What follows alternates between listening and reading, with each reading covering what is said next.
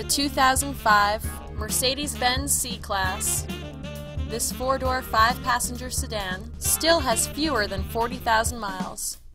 It features a standard transmission, rear-wheel drive, and a 1.8-liter four-cylinder engine.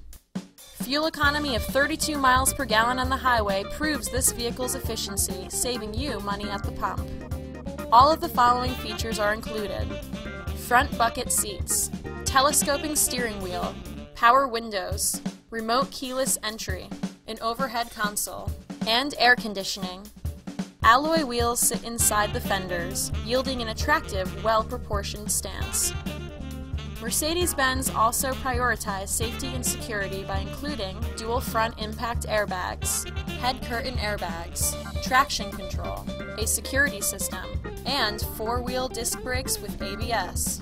In the event of a rollover collision, side curtain airbags provide additional protection for outboard seated passengers. Come down today and see this vehicle for yourself. Call now to schedule a test drive.